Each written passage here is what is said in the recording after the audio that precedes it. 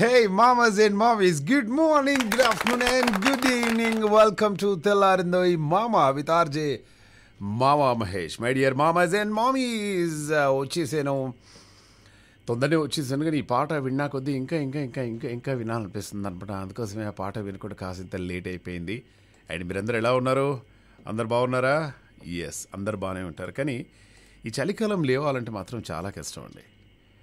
మనం ఒకటి పెట్టుకోవాలి నిజంగా. అంటే మీరు పొద్దున్నే లేచి ఓ ముగ్గురిని నిద్ర లేపండి. వాళ్ళు ఇంకో ముగ్గురిని లేవమని చెప్పండి. ఇలా బద్ధకాన్ని భారతదేశం నుండి మనం తరమేయవచ్చు. కానీ దయచేసి నన్ను మాత్రం ఎవరు లేపొద్దండి. మార్నింగ్ లేవడమే చాలా కష్టమైపోతుంది హైదరాబాద్లో. ఎందుకంటే చల్లగా అటు మంచు ఇటు రకరకాల ప్రాబ్లమ్స్. మార్నింగ్ లేవడం అనేది ఇంత కష్టం అండి అసలు. చ చ చ చ చ చ మానుకోవాలి. అంటే మనకే ఇలా అనిపిస్తే మరి అలా పొగతో నిండిపోయినటువంటి ఢిల్లీ వాళ్ళ పరిస్థితి. అందరూ లేట్గా లేవడమే. అంటే మనకి కా కాల్స్ వస్తుంటాయి మార్నింగ్. లేచారా మహేష్ మీరు? అంటే నేను లేచి ఆల్మోస్ట్ మూడు గంటలు అయింది అని కానీ మనం లేచింది ముప్పై నిమిషాలే. బట్ ఏ మాట కామంటే మనకు వర్షాకాలంలో మంచి కాఫీ తాగినా ఏమనిపించేదో ఓకే అండ్ అలాగే సమ్మర్లో జనరల్గా కొంచెం తక్కువనే తాగుతాం. కానీ చలికాలంలో మాత్రం ఒక మంచి కాఫీ అలా సిక్స్ సిక్స్ థర్టీకి అలా తాగుతూ ఉంటే దాని మజా వేరే ఉంటుందండి. కొన్ని కొన్ని ఆస్వాదించాలండి. కొన్ని కొన్ని అనుభవించాలి మనం. ఈ అనుభవించకుంటే చాలా కష్టం. ప్రతీది కూడా ఎంజాయ్ చేయాలి లైఫ్ని. ఆ చేద్దాంలే ఆ చూద్దాంలే అది ఇది అనుకోవద్దు. ప్రతీది ఏది మిస్ కావద్దండి లైఫ్లో. నేను మాత్రం అన్నీ మిస్ అయిపోయాను. అందరిలానే నేను ఎంజాయ్ చేస్తున్నాను. ఒక్కటి తప్ప. ఓకే మరి ఏమేమి పుట్టినరోజులు ఉన్నాయి ఈరోజు? యా సో ఈరోజు పుట్టినరోజు జరుపుకుంటున్నటువంటి మన సుగుణశ్రీ వాళ్ళ పాప. ఆ, శ్రీనివాస్ వాళ్ళ పాప పేరు ఏం పేరు ఉండే? యా కీర్తి గారికి happy birthday. Happy birthday happy birthday. అలాగే వెంకట్రావు లంక శుభ సాయంత్రం మామ అని చెప్పేసి అన్నారు. అలాగే తల్లా రవీందర్ మామ గుడ్ మార్నింగ్ మామ అని చెప్పేసి అన్నారు. Very very good morning. అలాగే మా ఇంటి పక్కన అంటే మన ఇంట్లో అపార్ట్మెంట్స్లో సెకండ్ ఫ్లోర్లో ఉంటాను నేను. ఈ సెకండ్ ఫ్లోర్లో ఏంటంటే కొంచెం క్యారిడర్ ఎక్కువగా ఉంటుంది. అపార్ట్మెంట్లో ఉన్న ఆంటీలు అందరూ వచ్చి నా డోర్ ఎదురుగానే మాట్లాడుకుంటారు రోజు. రోజు గుసగుసలు గుసగుసలు పెడుతూ ఉంటారు ఆఫీస్కి వెళ్ళే టైంలో. నేనేమో డోర్ తీయాలంటే చాలా కష్టం. ఒకసారి ఇట్లనే మాట్లాడుతున్నారు మాట్లాడుతున్నారు రోజు మాట్లాడుతూనే ఉన్నారు. ఒకరోజు మాత్రం అంటే ఈ రోజు మాత్రం చాలా సైలెంట్గా ఉన్నారనమాట మొత్తం ఎనిమిది మంది మాట్లాడుకుంటారు లేడీస్. సైలెంట్గా ఉన్నారు ఎవరంతలో వాళ్ళు. నేను ఇమ్మీడియట్గా అన్నానమాట ఎనిమిది మందికి ఎనిమిది మంది వచ్చారా? అయితే సైలెంటే ఉంటుందని చెప్పిన. అంటే వాట్ యు మీన్ అన్నారు. అంటే ఈ ఎనిమిది మందిలో ఏ ఒక్కరన్నా రాకుంటే వాళ్ళ గురించి చర్చ. ఎనిమిది మందికి ఎనిమిది మంది వచ్చారు కాబట్టి ఇంకేముంటుంది మాట్లాడుకోవడం? సరే సరే ఏంటి మహేష్? ఏంటి ఎన్ని గంటలకు వెళ్తున్నావు ఆఫీస్కి? ఎప్పుడు వస్తున్నావు రాత్రి? అసలు బొత్తిగా కనబడతలేవు మొత్తం బక్కచిక్కిపోయావు అని చెప్పేసి అంటున్నారు నన్ను అందరూ. నేను చెప్పినా ఏం చేయాలంటే చలికాలంలో చాలా కష్టాలు కదా. మార్నింగే తొందరనే వెళ్ళిపోతున్నాను మళ్ళీ తొందరనే ఇంటికి వచ్చేస్తున్నాను. మీరే ఎవరు కనబడతలేరు నాకు. మీరందరూ ఈ వర్క్ చేసుకుని మీ ఆయనలకు టిఫిన్లు కట్టించేసి లంచ్లు బాక్సులు పెట్టించేసి మీ పనులన్నీ అయిపోయే వరకు లెవెన్ అవుద్ది. లెవెన్ వరకు నేను ఇంట్లో ఉండే కదా నేను నైన్ థర్టీ టెన్కే ఆఫీస్కి వెళ్ళిపోతా అని చెప్పేసి చెప్పానమాట చెప్పిన తర్వాత ఏంటి ఏమేమి కూర ఉండారు ఈరోజు మీ ఇంట్లో? అని చెప్పేసి అందరినీ అందరిని పెట్టి అడిగాను. అడిగితే ఒక్కరింట్లో మాత్రము వాళ్ళు ఏదో చికెన్ వండుకున్నారట. అంటే మీకు ఈ ఉపవాసాలు కార్తీక మాసాలు అటువంటివి ఏం లేవా అంటే అవన్నీ ఏం లేవండి. అని చెప్పేసి అన్నారు. సరే నో ప్రాబ్లం. ఎందుకు లేవు ఏంటి అనేది నేను అడగదలుచుకోలేదు. అడగకూడదు కూడా మనకు సంబంధం లేదు అవన్నీ. సో ఏంటి చికెన్ ఫ్రైయా అంటే చికెన్ సిక్స్టీ ఫైవ్ చేసామండి చాలా బాగుంది అంటే ఏంటి మరి నాకు బెటరా అన్నాను నేను. పెడతాం కానీ మేము అందరం ఒకటి అనుకుంటున్నాం నీ గురించి అంటే అబ్బో నా గురించి ఏదో టాపిక్ వచ్చిందంటే బాగానే ఉంటుంది. ఏంటంటే చెప్పండి ఏమనుకుంటున్నారంటే మహేష్ మిమ్మల్ని ఒక క్వశ్చన్ అడుగుతాము. మీరు ఆన్సర్ చెప్పారనుకోండి సాయంత్రం మీరు రాగానే వేడి వేడి ఈ పక్కింటి ఆంటీ ఉంది కదా ఆంటీతోటి చికెన్ పెట్టిస్తా అని అన్నారనమాట నేను అనుకున్నా ఏ ఇటువంటి ఆంటీలు వేసే క్వశ్చన్స్ మనం అంతా హరి తీరున్నాం అయినా ఆంటీల దగ్గర ఏం క్వశ్చన్స్ ఉంటాయి ఏముండవు ఓకే ఏ సరే వేసేసుకోండి ఆ క్వశ్చన్ ఏంటో అన్నారనమాట సరే ఒకటి చెప్పు. వేలికి పెట్టుకోలేనటువంటి రింగ్ ఏంటో చెప్పు అని అడిగారు వాళ్ళు. వేలికి పెట్టుకోలేనటువంటి రింగా? మహేష్ గారు మీ చేతికి ఎన్ని రింగులు ఉన్నాయని అడిగింది. అంటే చూడండి అని చెప్పేసి చూపించానమాట రెండు రింగ్స్ ఉంటాయి. అయితే మరి చేతికి పెట్టుకోలేనటువంటి రింగ్ ఏంటో చెప్పండి. మీకు సాయంత్రం మంచిగా చికెన్ చేసి పెడతాం అని చెప్పేసి అన్నారు. అదెంతసేపు అండి పెద్ద సమస్య కాదు. ఇప్పుడు చెప్పాలన్నా ఆన్సర్? నేను మళ్ళీ నైట్ ఇంటికి వచ్చి చెప్పనా అని చెప్పేసి అన్నా. సరే ఇప్పుడేం అవసరం లేదు. ఆఫీస్కి వెళ్తున్నావు కదా. నువ్వు నైన్ థర్టీకి అలా ఇంటికి రా. అప్పుడు మేము అందరం బయటనే ఉంటాము. ఆన్సర్ చెప్పినాం అనుకో ఆన్ ది స్పాట్లోనే మీకు చికెన్ ఐటమ్ ఇస్తామని చెప్పేసి చెప్పేశారు. బట్ ఐ థింక్ మీరందరూ కూడా నా కడుపు చూస్తారు. ఈ పాపం వాడు తినాలి మంచిగా తినాలి. ఈ ఆన్సర్ చెప్తే మామ అట్లీస్ట్ చికెన్తో ఆయన భోంచేస్తాడు ఈరోజు అనే ప్రేమ నాకు ఉంటుంది నేను అర్థం చేసుకోగలను మీ అందరూ. అందుకోసం మీరు ఆన్సర్ చెప్పారనుకో నేను టక్కున వెళ్ళేసి ఆన్సర్కి ఆ ఆంటీకి టక్కున ఆన్సర్ చెప్పేస్తే చక్కగా బొజ్జ నిండా చికెన్ తినేసి హాయిగా పడుకోవచ్చు. అంతేలే నువ్వు వేసేది ఏముంది పెద్దగా? సో వేలికి పెట్టుకోలేనటువంటి రింగ్ ఏంటి? Nine seven zero five triple two double zero ఫైవ్కి మెసేజ్ చేసే ప్రయత్నం చేయండి.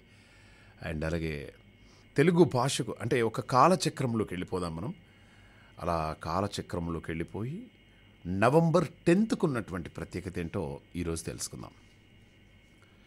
తెలుగు భాషకు విశేష సేవ చేసినటువంటి చార్లిస్ ఫిలిప్ బ్రౌన్ జననం ఈరోజు. అలాగే సమరయోధుడు సురేంద్రనాథ్ బెనర్జీ బెనర్జీ జననం. అలాగే కేంద్ర సమాచార శాఖ కమిషనర్ మాడభూషి శ్రీధర్ జననం. అలాగే నాటకోద్యమకర్త పద్మభూషణ్ ఏఆర్ కృష్ణ ఈరోజే పాపం పరమపదించారు ఆయన ఓకే ఇవన్నీ మనకు పెద్దగా వాళ్ళకి తెలియదు బట్ మీకెవరైనా తెలిస్తే బాగానే ఉంటుంది. అయితే ఎవరికి ఏం నచ్చుతుంది ఎవరికి ఏం నచ్చట్లేదు అబ్బాయికి నెత్తి మీద ఎంట్రుకలు లేవు అని చెప్పేసి క్యాన్సిల్ చేసిన వాళ్ళు ఉన్నారు. ఓకే తర్వాత పెళ్ళి జరిగే టైంలో కట్నాల గురించి అబ్బాయి వాళ్ళు ఎక్కువ అడుగుతున్నారని చెప్పేసి క్యాన్సిల్ చేసిన వాళ్ళు ఉన్నారు. ఓకే అబ్బాయి కర్రెగా ఉన్నాడని క్యాన్సిల్ చేసిన వాళ్ళు ఉన్నారు. లాస్ట్ మూమెంట్లో పెళ్ళి లాగిపోయినటువంటివి చాలా ఉన్నాయి ఈ ప్రపంచంలో. కానీ లెహంగా నచ్చలేదని చెప్పేసి పెళ్ళి క్యాన్సిల్ చేసినటువంటి వధువు. చాలామంది మనం లంగా అంటుంటాం. దాన్ని లంగా అనకూడదు అది లెహంగా లెహంగా. ఉత్తరాఖండ్లో హల్దియానికి చెందినటువంటి ఒక యువతికి నవంబర్ ఐదున పెళ్ళి ముహూర్తం ఫిక్స్ చేశారు. దీంతో వరుడి తరపు వాళ్ళు ఆమె కోసం ఒక ఖరీదైనటువంటి పెళ్ళి లెహంగాను పంపించారు. అది తనకు నచ్చలేదని ఆమె తెగేసి చెప్పింది. దీంతో ఇరు కుటుంబాల మధ్య మాట మాట పెరిగి ఘర్షణ జరిగింది.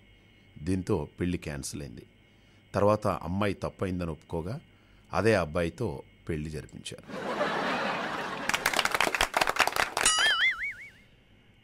ఎందుకు ఇప్పుడు అంత కాస్ట్లీ లెహంగా తీసుకొచ్చారు కదా?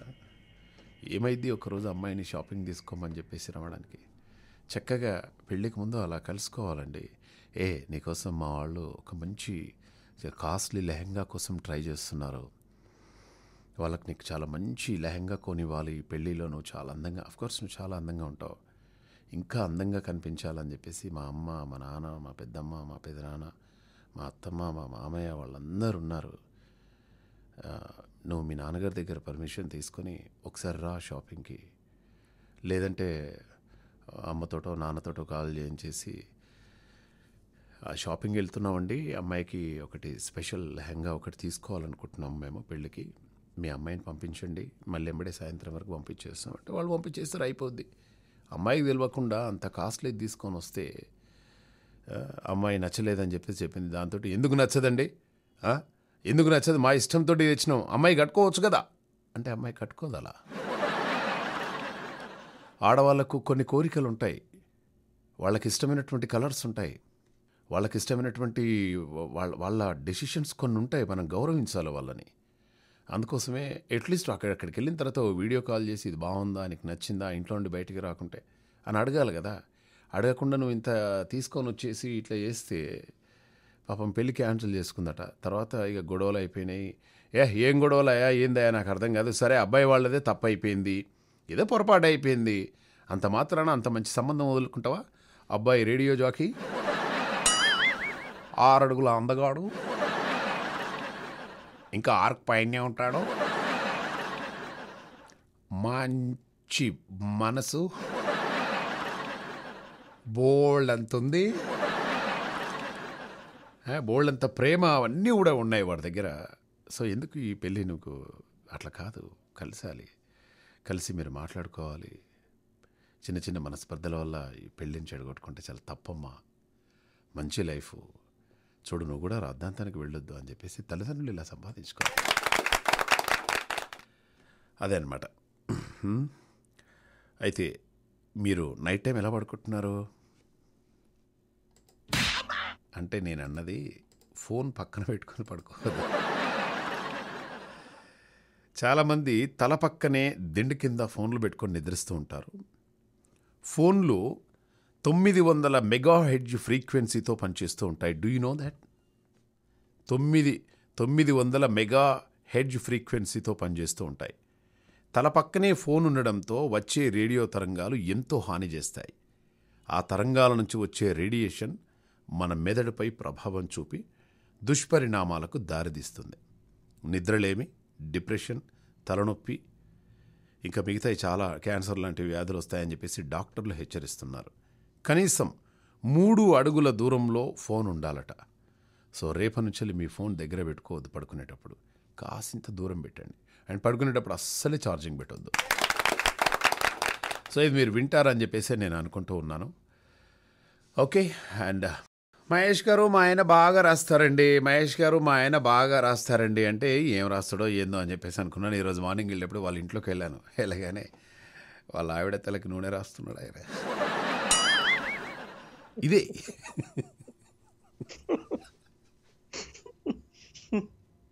ఆహా. భలే. చెప్పండి గురుగారు. తలకు నూనె రాస్తుందా కాళ్ళకి జెండు బాబు రాస్తుందా? ఏవో మొత్తానికైతే రాస్తూ ఉన్నాడు పాపం. అయ్యా చెప్పండి. చిమ్మప్పుడు శ్రీరామూర్తి గారు ఎలా ఉన్నారండి? బాగున్నారు సార్ మీరు బాగున్నారా? నేను ఆ పరమేశ్వరుడి కరుణా కటాక్ష వీక్షణాల వల్ల మీ బ్లెస్సింగ్స్ వల్ల నేను బాగానే ఉన్నాను గురుగారు. చాలా హుషారుగా మాట్లాడతారు. ఎప్పుడు కూడా షోలో చాలా అద్భుతంగా సంతోషం. మాకు ఏంటంటే మాకు మంచి బూస్టింగ్ అన్నమాట మీ మాట. మీరు ఒక చిట్కా చెప్పారు నేను ఇన్ని రోజుల నుంచి నేను అడుగున్నారా దూరంలో పెడుతున్నాను మీరు మూడు అడుగుల దూరంలో పెట్టాలంటున్నారు సెల్ ఫోన్ అవునా? నేను మూడు అడుగుల దూరం నేను నేను దూరంగానే పెట్టేశాను గురుగారు నేను ముందు రూమ్లో పెట్టేశాను మొబైల్ కానీ అంత అది దూరం అడుగు అడుగు దూరంలో పెడితే చాలదా? అడుగు అడుగున్నర దూరంలో పెడితే చాలదా? అనుకున్నాను అట్లా నేను మామూలుగా. ఓకే. కానీ కొంచెం దూరంగానే పెట్టాలని చెప్తున్నారు. అదే అదే. నేను ఒక మ్, ఇప్పుడు నాది ఏమైపోతుందంటే రాత్రి పడుకునేటప్పుడు పక్కన పెడుతున్నాను. అది లేచి వరకు అది కనపడతలేదు గురుగారు అది కనబడతలేదు. మళ్ళీ మార్నింగ్ ఎక్కడో వైబ్రేషన్ సౌండ్ వచ్చినప్పుడు అరే ఈ వైబ్రేషన్ సౌండ్ ఎక్కడి నుంచి వస్తుంది? కాళ్ళ దగ్గర వస్తుందా? ఏదో వస్తుందా? అది వస్తుందా అని చూస్తే ప్రతిరోజు కింద పడిపోతుంది అది బెడ్ కింద పడిపోతుంది అనమాట అంటే చలికాలం కదా గురుగారు అట్లా. ఓకే ఎనివే ఇక మనము మ్యాటర్లోకి వెళ్ళిపోదాం. గురుగారు నేను ఒక రెండు కవితలు రాశానండి ఈరోజు. సార్? చాలా కష్టపడి రాత్రి భోంచేసిన తర్వాత ఏదైనా రాయాలి. అంటే తలకు నూనె రాయడం అటువంటివి కాకుండా ఏదైనా రాయాలి ఏం రాయాలి అని ఒక పేపర్ తీసుకున్నాను. ఒక పెన్ను తీసుకున్నాను. పేపర్ను అలా జాలిగా చూశాను. అంటే ఏ ఎలానైనా కూడా చూడొచ్చు బట్ నేను మాత్రం జాలిగా చూశాను. చాలా పేపర్కు చాలా అదృష్టం అని కూడా నేను అనుకున్నాను. ఎందుకంటే మా బేబీ గురించి దానిపైన కవిత రాయడం అంటే అది ఎంత అదృష్టం చేసుకొని ఉండాలి పేపరు అని చెప్పేసి. ఇక మెల్లగా స్టార్ట్ చేశాను గురుగారు. మనసులో ఉన్నటువంటి నా భావానికి ఒక అందమైన అక్షర రూపం ఇచ్చాను అలా నా భావాలన్నిటికీ ఒక మంచి అందమైన అక్షర రూపం ఇచ్చాను అల్లం బెల్లం బేబే నా పెళ్ళం అని చెప్పేసి రాశాను గురుగారు.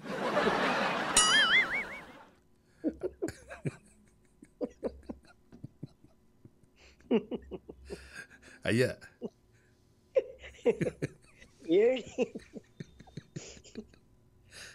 అంత ప్రాస అంత ప్రాస కోసం పాకురాడాలా? ఏంటి? అల్లం బెల్లం పెళ్ళం?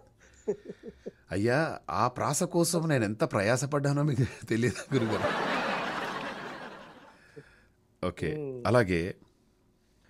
చీమా దోమ చీమా దోమ నువ్వంటే నాకు చచ్చిపోయేంత ప్రేమ అని రాశాను గురుగారు. అలాగే హైదరాబాదులో ఉంది దమ్ బిర్యానీ. హైదరాబాదులో ఉంది ధమ్ బిర్యానీ. నువ్వే నా దిల్కా రాణి అని రాశాను గురుగారు. అలాగే రామాయణం మహాభారతం మన ప్రేమ కథ. రామాయణం మహాభారతం మన ప్రేమ కథ కావాలి సుఖాంతం అని చెప్పేసి రాశారు అలాగే మా ఇంట్లో ఉంది పెరుగు మా ఇంట్లో ఉంది పెరుగు మన ప్రేమకు లేదు తిరుగు అని రాశారు గురుగారు. సూపర్. బాగానే ఉందా గురుగారు? పర్లేదా? పర్లేదండి అద్భుతం. అవునా? ట్రెమెండస్. అయితే ఇక పంపించాలి చాలా సాయంత్రం. బాగుంది చాలా బాగుంది. రాయండి ఇంకా. ఇలా ఇలా మీరు రాశారంటే ఒక ఒక వంద పేజీల కవితలు రాశారంటే ఆ, ప్రింట్ చేయండి మా ఫౌండేషన్ తరఫున ఆవిష్కరణ చేసి చేయిస్తాను నేను. అంతేనా? ఆ. హాస్య గుళికలు. తీసుకొచ్చి పుస్తకం ఆవిష్కరణ KV Ramana doctor KV Ramanachari గారి చేత పుస్తకం ఆవిష్కరణ చేయిస్తా. అవునా.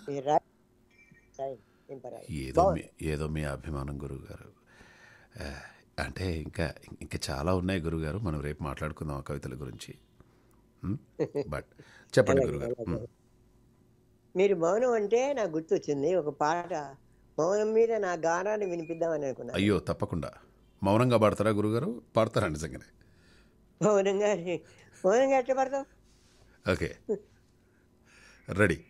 మౌనమా సుధాపానమా మౌనమా మధుర సుధాపానమా నా మదికే పావన గంగా స్నానమా నా తోడు నీడవు అక్షర జ్ఞానమా నన్ను కాపాడే నారో ప్రాణమా నా పరమ లక్ష్య సౌజ పయన సంవిధానమా మౌనమా మధుర సుధాపానమా మూర్ఖుల సభలలో వాదులాడు వేళ పామరులెందరూ నన్ను పరిహసించు వేళ అజ్ఞానులు కలగాలతో ఆగడాలు చేయు వేళ పదమైనను పెదవి దాటని గానమా? పదమైనను పెదవి దాటని గానమా?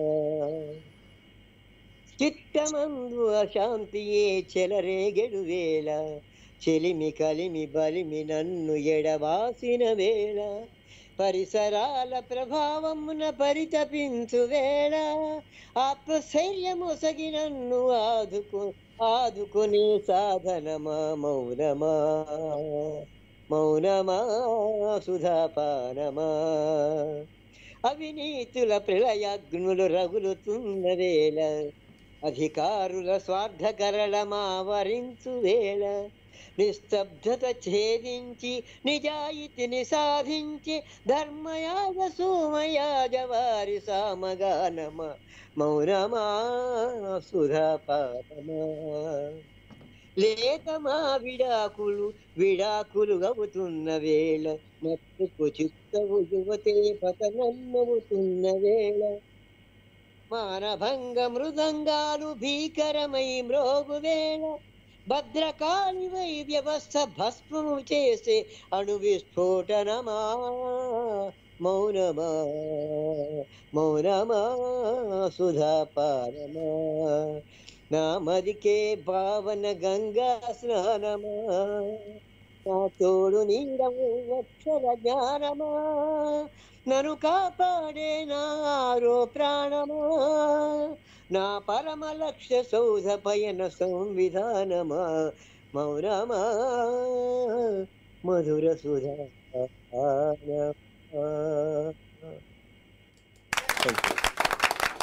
ఎంత అత్యద్భుతంగా ఉందండి గురుగారు ఎంత అద్భు- అత్యద్భుతంగా ఉందండి. మౌనం మీద ఎంత బాగా రాశారండి నిజంగా కూడా. చాలా అంటే చాలా గొప్పగా ఉందండి మీరు రాసింది. అయితే గురుగారు అయ్యా. ఇక ఆశ్రమానికి మార్నింగే ఒకరు వచ్చారు గురుగారు. వచ్చేసి అయ్యా మహేశానంద స్వామికి నమస్కారం అంటే నమస్తే అమ్మా ఏంటమ్మా సమస్య ఏంటి మీది? అంటే గురుగారు మా సమస్యలు చెప్పుకోవడానికే మీ దగ్గరికి వచ్చాను. అంటే సరే చెప్పండి అమ్మా అన్నాను. నాకు ఒక సందేహం ఉందండి. మగవాళ్ళు ముసలి వాళ్ళు అయ్యారు అనడానికి ఖచ్చితమైనటువంటి రుజువు ఏమన్నా ఉంటుందా గురుగారు అని నన్ను అడిగాడు అనమాట అడిగి అడిగింది ఆమె. అంటే మరి మాకు అంటే నా పూజ్య గురువు గారు చిమ్మపురి శివమూర్తి గారు ఉన్నారు. ఆయనని అడిగి చెప్తాను బట్ నాకు తెలిసింది మాత్రం నేను ఇప్పుడు చెప్తానమ్మా. ముసలి వాళ్ళు అయ్యారు అనడానికి ఖచ్చితమైనటువంటి రుజువు ఎప్పుడు అని మీరు నన్ను అడిగారమ్మా. అడిగారు కదా. పండు జుట్టు కాదమ్మా. జ్ఞాపక శక్తి తగ్గిపోవడము కాదు ముఖం మీద ముడతలు కాదు బోల్డ్ అన్ని మందులు వాడటము కాదు బట్టతల రావడము కాదు అనగానే మరేమిటి అందనమాట అంటే వాళ్ళు ఆ ముసలి వాళ్ళు ఎవరైతే ఉన్నారో వాళ్ళు పూర్తిగా ఆడవాళ్ళతో మాట్లాడుతున్నా కూడా వాళ్ళ భార్య అతన్ని ఏమాత్రము పట్టించుకోకుండా అనుమానించకపోయినప్పుడే వాడు ముసలివాడైనట్టు లెక్క అమ్మా.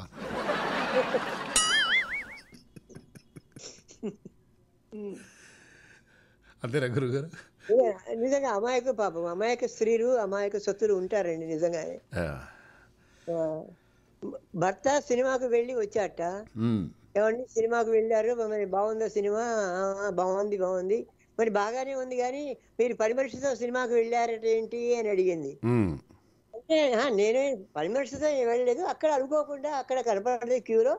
నా టికెట్ నాకు కూడా తీసుకో అని నేను చెప్పాను. బాగా రష్ వాళ్ళు మగవాళ్ళ క్యూ బాగా ఉంది కాబట్టి ఆడవాళ్ళ క్యూ తక్కువ ఉంది కాబట్టి ఆమెకు టికెట్ డబ్బులు ఇచ్చి టికెట్ నాకు కూడా టికెట్ తీసుకో అని డబ్బులు ఇచ్చాను. ఆ, రెండు టికెట్లు తీసుకుంది వచ్చింది. అంటే నాకు అన్నీ తెలుసండి. మా తమ్ముడు అదే సినిమాకి వచ్చాడు. నాకు అన్నీ తెలుసు.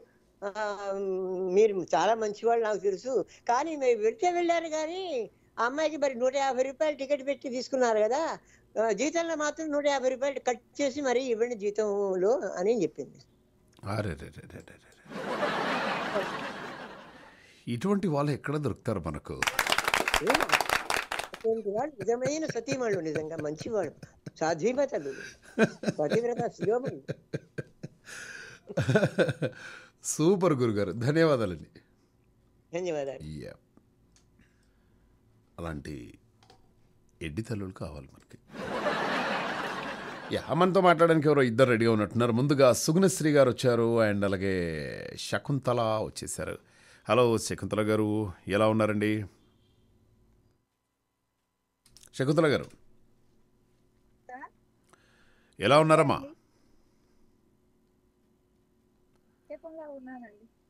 నిక్షేపంగా ఉన్నారా? వెరీ నైస్ అండి. ఓకే అండ్ అలాగే సుధా గారు? సుధా గారు ఆ, ఎక్కడ సారీ ఉన్నారు సుగుణశ్రీ గారు. ఆయన మౌన సుధా అనేదో పాట పాడాడు కదా అదే గుర్తొచ్చింది. Okay madam. చెప్పండి అమ్మా మీ పాప కేక్ కట్ చేశారా? మాట్లాడండి మామ. ఇవ్వండి. Hello Keerthi garu. Many many many more happy returns of the day have wonderful and fabulous birthday to you అలాగే నాకు ఇచ్చిన ప్రతి ఒక్కరికి పేరు పేరున థ్యాంక్ యూ సో మచ్ అలాగే నేను కూడా many many happy returns of the day అమ్మా. అలాగే నీకు ఇంకొక సర్ప్రైజ్ కూడా ఉంది. మైథిలి గారు కూడా కాల్ చేశారు బర్త్డేకి మైథిలి గారు చెప్పండి అమ్మా మామ బాగున్నారు మామ? నేను బాగున్నాను మైథిలి గారు. మీరు ఎలా ఉన్నారు? బాగున్నాను మామ. నెల్లూరులో వర్షం వస్తుందని చెప్పాను కదా మామ. ఈ రోజు అంతా ఫుల్ రెయిన్ మామ నేను చెప్పలే. పద్మ గారు ఎట్లున్నారు? బాగున్నారు మామ. అడిగినట్టు చెప్పండి. అలాగే మామ. ఓకే. సరే కీర్తిశ్రీకి బర్త్డే విషెస్ చెప్తాను మామ. చెప్పండి. Many many happy returns of the day Keerthisri. ఇటువంటి పుట్టినరోజులు ఎన్నో జరుపుకోవాలని ఆ లక్ష్మీ నరసింహస్వామి దయ ఎప్పుడూ నీ మీద ఉండాలని కోరుకుంటున్నాను. ముందు ఫ్యూచర్ అంతా నీకు చాలా బాగుండాలా? తొందరగా మ్యారేజ్ అవ్వాలా? Very good. తొందరగా మ్యారేజ్ కుదిరిపోయి మ్యారేజ్ అయిపోవాలి? డెఫినెట్గా. ఆ, మంచి అబ్బాయి వచ్చేస్తాడు? అవును కీర్తి? ఎలాంటి అబ్బాయి కావాలమ్మా? అమ్మ వాళ్ళకి నచ్చితే చాలు. అంతే అమ్మ వాళ్ళకి నచ్చితే చాలు. మామ ఇంకో విషయం మామ. ప్రస్తుతం సురేష్ వంటలోనే ఉన్నాను మామ. ప్రస్తుతం? సురేష్ వంటలోనే ఉన్నాను మామ. ఓ సుగుణశ్రీ వాళ్ళ ఇంట్లోనే ఉన్నారా? ఆహో కేక్ కట్ చేస్తున్నారా? అయితే మరి అందరు కలిసి? రాత్రి ట్వెల్వ్ ఓ క్లాక్ నేను ఒంగోలులో ఉన్నాను మామ. మళ్ళీ ఇప్పుడు నెల్లూరు వచ్చేసాను మామ. మీ బంధం చాలా గొప్పదండి. ముందుగా సిక్స్ ఓ క్లాక్కి బయలుదేరి వచ్చేసాను మామ. మళ్ళీ ఇప్పుడు ఒంగోలు వెళ్ళిపోతాను మామ. Wonderful wonderful. ముందుగా మన అందరి తరపు నుండి ఓకే కీర్తికి పుట్టినరోజు శుభాకాంక్షలు తెలియజేస్తున్నాము. May your dreams come true Keerthi. Have a wonderful and fabulous birthday to you happy birthday, happy birthday to you. And అలాగే సుగుణశ్రీ గారు? ఆ, మామ ఆ, మరి చేతికి పెట్టుకోలేనటువంటి రింగ్ ఏంటో దొరికిందా? ఫోన్ రింగ్ మామ? అయ్యో. ఫోన్ రింగ్ చేతికి పెట్టుకోవచ్చు. ఫోన్ వెనకాల ఒక రింగ్ వస్తుంది ఈ మధ్య. ఆ రింగ్లో చేయబెట్టి మనం ఫోన్ పట్టుకోవచ్చు. ఇప్పుడు అదేంటంటే ఆ రింగ్ ఏంటంటే ఫోన్ మనము ఇట్లా సైడ్కి పెట్టినా కూడా పనిచేస్తుంది అనమాట ఇంకేదైనా రింగ్ ఆలోచించి చెప్పండి నాకు ఓకేనా?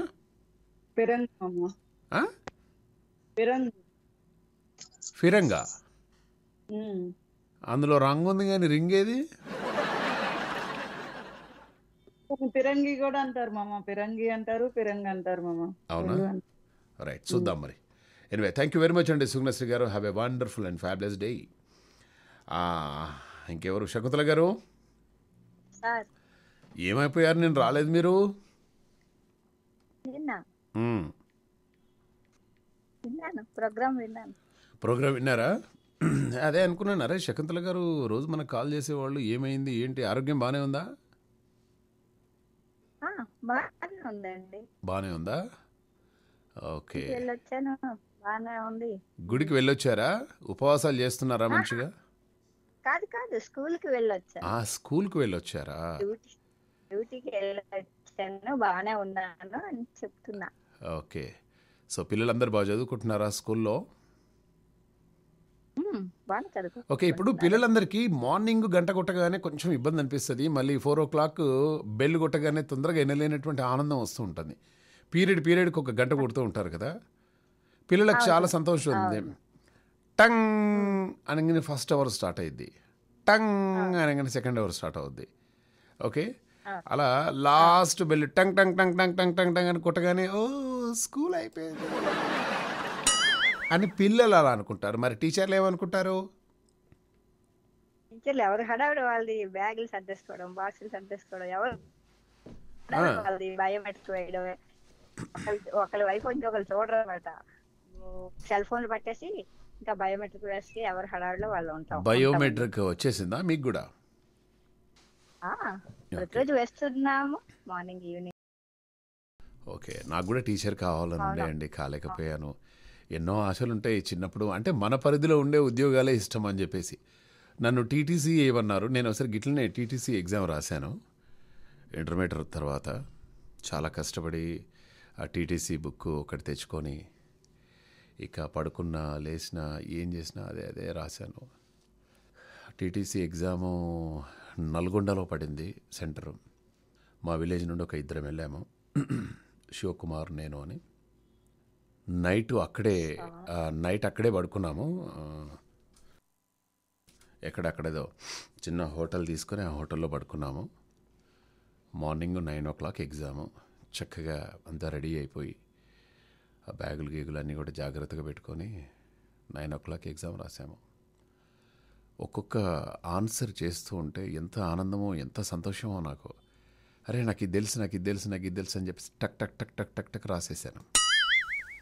బాగా రాశాను ఎగ్జామ్.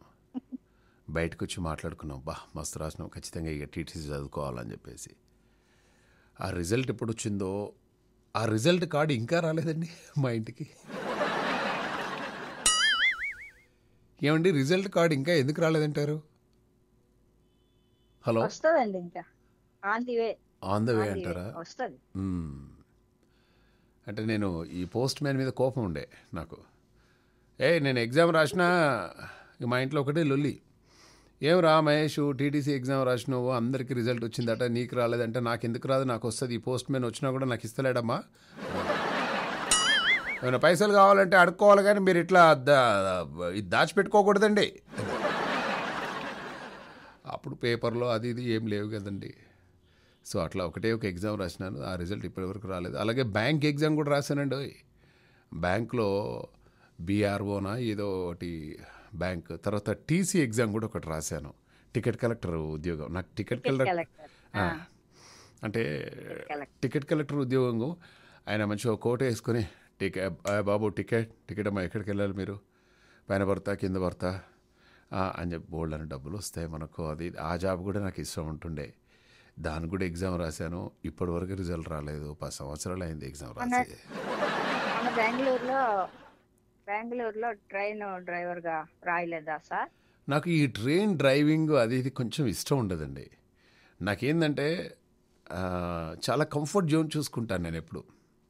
అండ్ అలాగే చాలా స్మార్ట్గా ఉండే చూసుకుంటాను. అంటే ఈ హెడేక్స్ అవి ఇవి అప్పుడు మెడికల్ రిప్రజెంటేటివ్ కూడా నాకు చాలా అంటే ఇష్టం. మార్కెటింగ్ చేయడము అది ఇది చాలా ఇష్టము. ఇక డే బై డే పెరుగుతున్న కొద్దీ ఇంకా స్మార్ట్గా ఉండే జాబ్స్ ఇష్టం అట్లా అని చెప్పేసి ఇక టీసీ ఎగ్జామ్ రాశానండి అదే రాలేదు. దాని తర్వాత ఇక నేను రాయడమే మానేశానండి. మన వల్ల కాదులే ఎందుకు ఈ ఇటువంటి ఉద్యోగాలు అని చెప్పేసి స్వస్తి చెప్పాను. బట్ మీరు ఫస్ట్ టైం మీకు ఉద్యోగం వచ్చినప్పుడు ఎలా అనిపించింది? టీచర్ ఉద్యోగం వచ్చినప్పుడు? ఐఎమ్ సో హ్యాపీ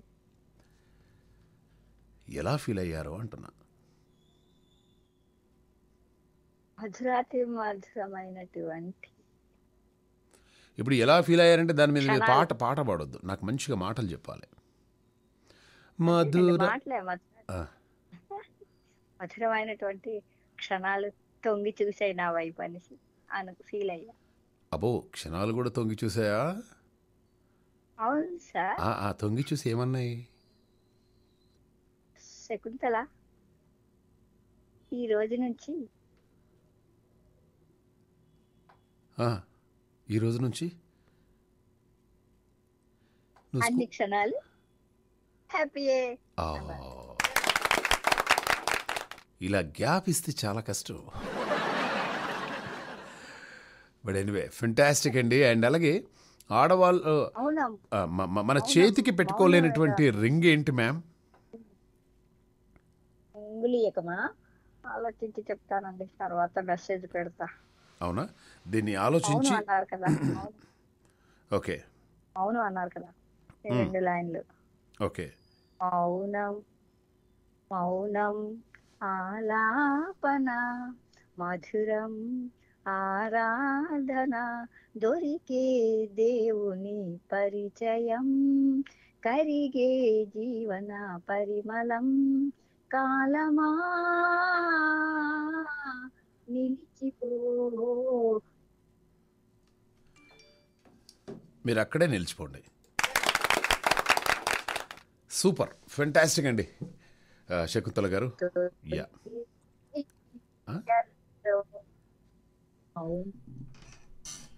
శకుంతల గారు వండర్ఫుల్ అండి. Thank you very much ma'am.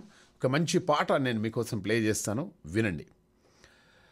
So అదే ఆమె శకుంతల గారి ఫస్ట్ టైం జాబ్ వచ్చినప్పుడు చాలా హ్యాపీగా ఫీల్ అయ్యారట. అలాగే బిర్యానీ కోసం గొడవ భార్యాభర్తలు విపరీతంగా కొట్టుకున్నారట. ఎప్పుడు మారుతారు మీరంతా? ఏంటికి? ఓకే. ఎప్పుడు మారుతారు మీరు? అరవై సంవత్సరాల వయసులో ఉన్నటువంటి భార్యాభర్తలు గొడవ పడి ప్రాణాల మీదకి తెచ్చుకున్నారట. చెన్నైకి చెందినటువంటి కరుణాకరణ్ నిన్న రాత్రి బిర్యానీ తెచ్చుకొని ఒక్కడే తిన్నాడు. రగిలిపోయినటువంటి భార్య పద్మావతి బిర్యానీ కావాలని గొడవ చేసింది. ఆగ్రహానికి గురైనటువంటి భర్త భార్యపై చేయి చేసుకున్నాడు ఇద్దరు కొట్టుకున్నారు ఇద్దరు హాస్పిటల్లో జాయిన్ అయిపోయారు. నువ్వు ఆ చక్కగా బిర్యానీ తీసుకొచ్చి ఆమె చేతికి ఇచ్చేసి నువ్వు తిను నువ్వు తినగా మిగిలిందే నాది అని చెప్పేసి ఒక మాట చెప్తే అయిపోవు కదా కరుణాకరణం. కరుణాకరణే పేరు పెట్టుకున్నావు కానీ కరుణ లేదేంటయ్యా నీకు? సరే ఇద్దరు గొడవ పెట్టుకుందాం అని చెప్పేసి అనుకున్నారు అనుకోండి నువ్వు బయటనే బిర్యానీ తినరాక ఇంట్లోకి ఎందుకు తీసుకొచ్చినావు? సరే ఇంట్లోకి తీసుకొచ్చినావు. తీసుకొచ్చిన తర్వాత నీకు చాలా ఇష్టం అని చెప్పేసి బిర్యానీ తీసుకొని వచ్చాను. నాకు తెలుసు. బిర్యానీలో లెగ్ పీస్ అంటే నీకు ఎనలేనటువంటి ఇష్టము. ఆ లెగ్ పీస్ నువ్వు తీసుకో మిగతా పీస్ నేను తీసుకుంటా అని చెప్పేసి చక్కగా నువ్వు నువ్వు చికెన్ తిను మిగిలిన బొక్క అయినా పర్వాలేదు నేను తింటా అని చెప్పేసి నువ్వు చెప్పొచ్చు కదనా బొక్కలోది కొట్టుకుంటారా మీరిద్దరు? భార్యను హ్యాండిల్ చేయరాకుంటే ఎట్లా నీకు? ఆ? ఇద్దరు కలిసి కొట్టుకున్నారు. గాయాలతో ఆసుపత్రిలో చికిత్స పొందుకుంటున్నారు ఇప్పుడు. బిర్యానీ కోసం వద్దు. చిన్న చిన్న వాటితోటి గొడవలు పెట్టుకోవద్దు. అందుకోసమే ఆరోగ్యకరమైనటువంటి జీవితానికి మహేశానంద స్వామి ఒక ఎనిమిది సూత్రాలు తీసుకురావడం జరిగింది. శ్రీ గురుభ్యో నమ.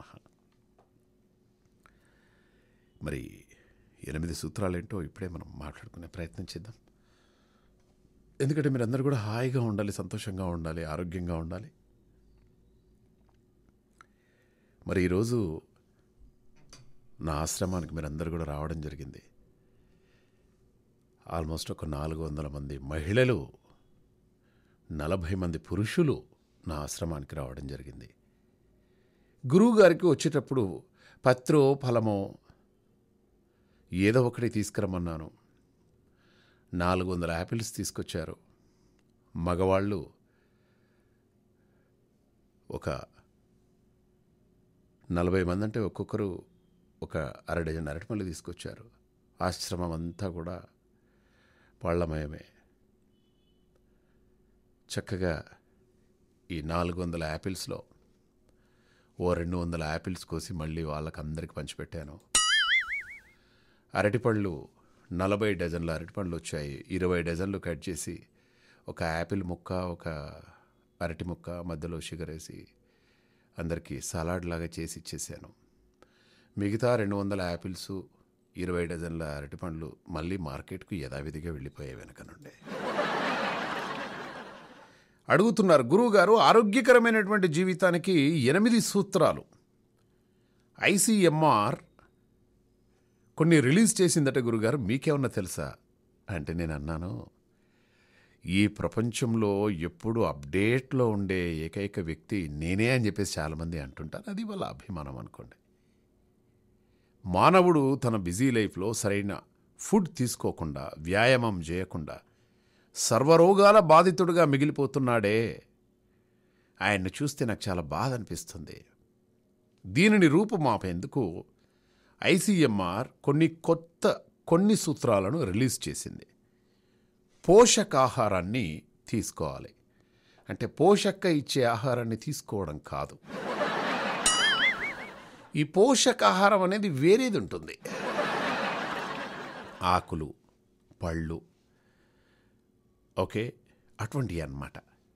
అలాగే సూర్యరశ్మి ద్వారా విటమిన్ డిని పొందండి.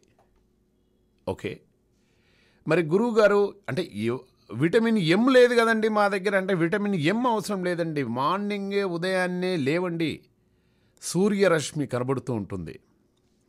ఓ బిల్డింగ్ మీద సూర్య ఇంకో బిల్డింగ్ మీద రశ్మి ఆ వాళ్ళిద్దరు కాదు నేను అన్నది. చక్కగా సూర్యుడికి ఎదురుగా నిలబడి ఒక్కసారి సూర్యుడికి నమస్కారం చేసుకోండి. నా ప్రత్యక్ష దైవం నువ్వే అని. అలా మీరు విటమిన్ డిని పొందండి. ఆరోగ్యంగా ఉండేందుకు వ్యాయామం చేస్తూ పరిశుభ్రంగా ఉండండి. ఓకే వ్యాయామం చేసి స్నానం చేయకుండా ఆఫీస్కి అలా వెళ్ళకూడదు. వ్యాయామం అయిపోయిన తర్వాత పరిశుభ్రంగా చక్కగా స్నానాధికాలన్నీ కూడా ముగించుకొని అలాగే స్వచ్ఛమైనటువంటి గాలిని పీల్చండి. ఎనిమిది గంటలు నిద్రతో పాటు ఎనిమిది గంటలు చాలా సఫిషియెంట్గా నిద్రపోండి. రోజుకు రెండు మూడు గంటలు మాత్రమే టీవీ చూడండి మొబైల్ చూడండి అంతకంటే ఎక్కువగా చూడొద్దు. ఈ ఎనిమిది సూత్రాలు మీకు చాలా అంటే చాలా బాగుంటాయి. ఓకే ఇక రాశి ఫలాల గురించి మనం మాట్లాడుకుందాం. మేషం. దూర ప్రాంతాల నుండి అరుదైన ఆహ్వానాలు అందుతాయి. పనులు సకాలంలో పూర్తి చేస్తారు రిజిస్ట్రేషన్ కార్యక్రమాలు సక్రమంగా జరుగుతాయి. సంఘ సేవా కార్యక్రమాల్లో చురుకుగా పాల్గొంటారు. వృత్తి వ్యాపారాలు విస్తరిస్తారు. ఉద్యోగులకు ఇంక్రిమెంట్లు అందుతాయి. వావ్! అలాగే వృషభం. బంధువులను కలిసి ఉల్లాసంగా గడుపుతారు. విందు వినోదాలు అలాగే పలుకుబడి పెరుగుతుంది.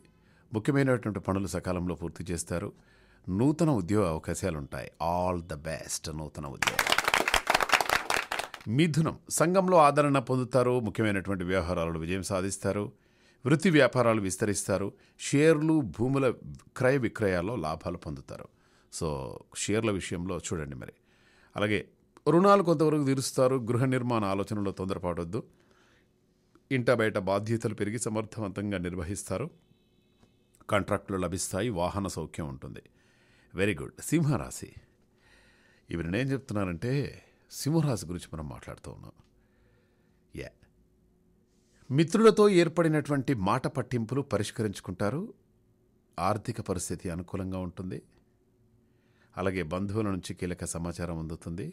వస్తు కొనుగోళ్ళు. ఓకే బాగానే ఉంది. ఇట్లుంది ఏంది నాది ఈరోజు? యా. అయినా మీది బాగుంటుంది ఆల్రెడీ నాకు. అలాగే కన్యా గురించి మనం మాట్లాడుకుందాం. కొత్త విషయాలు తెలుసుకుంటారు. సంతానం అలాగే నూతన విద్య ఉద్యోగ అవకాశాలు పొందుతారు. చిన్ననాటి మిత్రులను కలిసి ఆనందంగా గడుపుతారు. ఆస్తి వివాదాలు తీరి లబ్ధి పొందుతారు. ధనలాభం ఉంటుంది. ఏమండోయ్!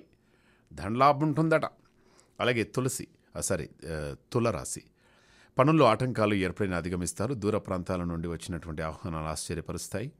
ప్రయాణాలు ఇంట బయట విజయాలను అధిగమిస్తారు. స్వల్ప ధనలాభం ఉంటుంది. ఓకే. ఇంటా బయట ధనలాభం ఉంటుందట. అంటే మీ ఆయన మీకు డబ్బులు ఇస్తాడు కావచ్చు. లేకుంటే మీ బేబీయే మీకు డబ్బులు ఇస్తుంది కావచ్చు. అలాగే ఆర్థిక పరిస్థితి అంతంత మాత్రంగానే ఉంటుంది. పనులు నెమ్మదిగా సాగుతాయి. ఆకస్మిక ప్రయాణాలు లభిస్తాయి. ఉద్యోగాల్లో ఎదురైనటువంటి ఒత్తిడులు తగ్గుతాయి. నూతన వస్తు వస్త్ర కొనుగోలు ఉంటుంది. ఫెంటాస్టిక్ అలాగే ధనస్సు. ఇంట బయట ప్రోత్సాహం లభిస్తుంది. బంధువులను కలిసి ఆనందంగా గడుపుతారు. వృత్తి వ్యాపారాల్లో స్వల్ప లాభాలుంటాయి. ఆర్థిక అభివృద్ధి సాధిస్తారు. కాంట్రాక్టులు దక్కుతాయి. ఏమండవు ఎన్ని కాంట్రాక్టులు అండి బాబు? ఇక మకరం. కుటుంబ సభ్యులను కలిసి ఆనందంగా గడుపుతారు. విలువైన వస్తు వస్త్ర ఆభరణాలు కొనుగోలు చేస్తారు. పనులు చకచకా సాగుతాయి. బంధువుల నుంచి కీలక సమాచారం ఉంటుంది. శుభవార్తలు వింటారు. కుంభం. ముఖ్యమైన పనుల్లో జాప్యం జరిగినా కూడా చివరకు పూర్తి చేస్తారు. ఇగో నీడ్ సంథింగ్ యోయో మ్యాన్ అలాగే ఆర్థిక పరిస్థితి ఆనందంగా ఉంటుంది అనుకూలంగా ఉంటుంది. సన్నిహితుల నుండి శుభవార్తలు వింటారు. ఉద్యోగాలలో స్థానచలనం ఉంటుందన్నమాట కుంభం వాళ్ళకి. ఉద్యోగాల్లో స్థానచలనం. ఇప్పుడు ఫర్ ఎగ్జాంపుల్ మీరు ఉద్యోగం ఎక్కడో చేస్తున్నారు. డైలీ ఒక రెండు మూడు డైలీ ఒక పది ఇరవై అంటే రెండు మూడు గంటల ప్రయాణం. సడన్గా మీ ఇంటికి కొద్దిగా రెండు మూడుగా రెండు మూడు కిలోమీటర్ల దూరంలో we are happy to inform you that we are going to start our new branch in this place would you like to join in that group or you want come to this place everyday అంటే వాళ్ళ ఇంటికి just ఒక one kilometre దూరమే. అప్పుడు one kilometre దూరంలో ఉన్నటువంటి ఆఫీస్కి వెళ్ళాలా? లేకుంటే ఒక టూ కిలోమీటర్స్ డే అంటే ఒక టూ అవర్స్ డ్రైవ్ చేసి వెళ్ళాలా? అమ్మో టూ అవర్స్ డ్రైవ్ అంటే బోల్డ్ ఎంత టైం పోద్ది. అలాగే మళ్ళీ గ్యాస్ మళ్ళీ ఇవన్నీ ఖర్చు మళ్ళీ టోల్ గేట్స్ ఉంటాయి ఇవన్నీ ఉంటాయి ఇవన్నీ ఎందుకు? యా కొత్త బ్రాంచ్ అన్నారు కదా so let me work in a new branch so that I can you know guide our new people over there అని చెప్పేసి ఆ కొత్త ప్లేస్లోకి వెళ్ళేసి అక్కడే జాబ్ చేస్తారు. కానీ మీ ఇల్లు వానికి వన్ కిలోమీటర్ దూరం ఉందని మాత్రం అసలే చెప్పరు మీరు వాళ్ళు. అది. ఆఫీస్ ఇంటి దగ్గర ఉంటే అసలు ఎంత బాగుంటుందో తెలుసా? అలాగే సభలు సమావేశాల్లో పాల్గొంటారు. పాత బాకీలు వసలవుతాయి. అబ్బూ! పాత బాకీలు వసలవుతాయట. ఇప్పుడు ఎట్లా ఉంటుంది తెలుసా? డబ్బులు ఇవ్వాలి వాళ్ళు. అంటే ఏదైనా క్వైట్ న్యాచురల్ రైట్ సో ఒక అతను మనకొక పని చేసి పెట్టాలి. మనము అడుగుతూ ఉన్నాం అడుగుతూ ఉన్నాం అడుగుతూ ఉన్నాం అడుగుతున్నాం అడుగుతున్నాం సార్ ఎగ్జాంపుల్ ఐదు లక్షలు తీసుకున్నాడు అనుకో ఒక ఆయన. ఎప్పుడిస్తావు ఎప్పుడిస్తావు ఎప్పుడిస్తావు ఎప్పుడిస్తావు ఎప్పుడిస్తావు? సరే సరే ఇద్దరి మధ్య మాట అది ఇది గొడవలు చిన్నగా స్టార్ట్ అయిపోతాయి. అనుకోకుండా ఆయనకు ఐదు లక్షలు వచ్చేసి. సారీ అట్లా కరెక్ట్ టైంలో అందించాలనుకున్నాను బట్ అందించలేకపోయాను నేను because of so many reasons but ఇదిగో మీ ఫైవ్ ల్యాక్స్ విత్ ఇంట్రెస్ట్ అని చెప్పేసి ఇచ్చి ఇచ్చాడనుకో. ఎందుకో అప్పటి వరకు ఉన్నటువంటి కోపం అంతా అవుతుంది ఏ అదే అదే మనసులో పెట్టుకోకు నువ్వు. దా అక్కడ పోయి ఏమైనా డిన్నర్ చేద్దాందా? డబ్బుల గురించి ఏం పర్లేదు. టెన్షన్ పడకు. ఊరికే ఆ టైంలో అలా అనిపించింది. నాకు కూడా అవసరం ఉండే అని చెప్పేసి అడిగాను. అంతే తప్ప ఏం లేదని చెప్పేసి మళ్ళీ మనసు మారి మంచిగా వాళ్ళు సారీ చెప్పి మీరు సారీ చెప్తారు చూడు. బాగుంటుంది. ఓకే మీనంలోకి వెళ్ళిపోదా? నాకెందుకో ఏదైనా ఈ టాపిక్ వస్తే మళ్ళీ దాని గురించే మాట్లాడవాలి సభలు సమావేశాల్లో పాల్గొంటారు పాత బాకీలు వసలైతాయి ముఖ్యమైన వ్యవహారాల్లో విజయం సాధిస్తారు. ఆప్తుల నుండి శుభవార్తలు వింటారు క్రయ విక్రయాల్లో లాభాలుంటాయి. ఓకే సో ఇది ఈరోజు మన షో. సో చేతికి పెట్టుకోలేనటువంటి రింగ్ ఏంటి అని చెప్పేసి నేను అడిగాను. చాలామంది రకరకాల రింగులు చెప్పారు. And all rings are perfect అండి. చేతికి పెట్టుకోలేనటువంటి రింగ్ వచ్చేసి ఫైరింగ్ అండి బాబు. Firing and pairing conjuring and flooring cleaning bearing oh so many rings అదే లాస్ట్కు షివరింగ్ అని పెట్టారు. ఇంకా నాయం సఫరింగ్ అని పెట్టలేదు ఓకే అండ్ అలాగే చిన్నప్పుడు నా యాటిట్యూడ్ చాలా డిఫరెంట్గా ఉంటుండే అండి స్కూల్లో. అంటే నేను నాకు నేనే కొంచెం తోపులాగా ఫీల్ అయ్యేదన్నమాట. ఎట్లా అంటే చిన్నప్పుడు నేను చదువుకునే రోజుల్లో మా మాస్టర్ నన్ను కొట్టినప్పుడల్లా ప్రతి దెబ్బతిన్న వెంటనే నేను నా చేతులను దులుపుకొని నా లాగుకు రాసుకున్న తర్వాత రెండో దెబ్బకు చేయి దాపేవాడిని అనమాట అంటే శుచి శుభ్రత అనేది నాకు ఆనాటి నుంచేలే ఉందండి. ఈ ఈ రైట్ హ్యాండ్ మీద కొట్టగానే ఇమ్మీడియట్గా రైట్ హ్యాండ్ నేను నా లాగుకు రాసుకునేది మళ్ళీ నా లెఫ్ట్ హ్యాండ్ కూడా లాగుకు రాసుకొని సరే కొట్టండి అని చెప్పేసి చేయబెట్టేవాడిని అనమాట శుచి శుభ్రత అనేది మామకు ఆ రోజు నుండే అలవాటు పడ్డాయి. ఓకే? అండ్ అలాగే అప్పట్లో గురువులంతా కూడా పాఠం చెప్తున్నసేపు నిలబడే ఉండేవాళ్ళు. వాళ్ళు పాఠం చెప్తున్నంతసేపు నిలబడే ఉండేవాళ్ళు. ఎందుకో తెలుసా? గౌరవం. నేనంటే వాళ్ళకి అంత గౌరవం అంతే అది. అలాగే నేను చదువుకునేటువంటి రోజుల్లో మా గురువులు నాలుగు రోజులకు ఒకసారి మీ నాన్నగారిని తీసుకొని రమ్మని చెప్పేసి అనేవాళ్ళు అనమాట ఎందుకంటే వాళ్ళందరూ ఏ విషయమైనా నాకు సూటిగా చెప్పడానికి వాళ్ళు భయపడేవాళ్ళు. అది మన రేంజ్. అలాగే నేను రాసినవి చదవడానికి మా గురువులంతా చాలా ఇష్టపడేవారు. అందుకే వాళ్ళు ఇచ్చినటువంటి ప్రశ్నలకు కొన్ని వందల సార్లు మళ్ళీ మళ్ళీ రాసి చూపించేయమని చెప్పేసి ప్రతిరోజు నన్ను అభ్యర్థించేవాళ్ళు. అరే ఇంకా పసాలో రాయరా ఇది అని చెప్పేసి అనేటోళ్ళు అనమాట అంత ఇష్టం నేనంటే వాళ్ళకి. అట్లుంటుంది మనతోనే. అలాగే మా గురువులందరూ నన్ను వీడొక సింహ బాలుడు అన్నట్టుగా చూసేవాళ్ళు. అందుకే వాళ్ళకి ఏమాత్రం భయం వేసినా కూడా క్లాస్లో నుంచి నన్ను బయటికి పంపి గుమ్మం దగ్గర కాపలా కోసం నన్ను నిలబెట్టేవాళ్ళు అనమాట నన్ను ఒక సింహ బాలులాగా చూసుకునేవాళ్ళు వాళ్ళంతా.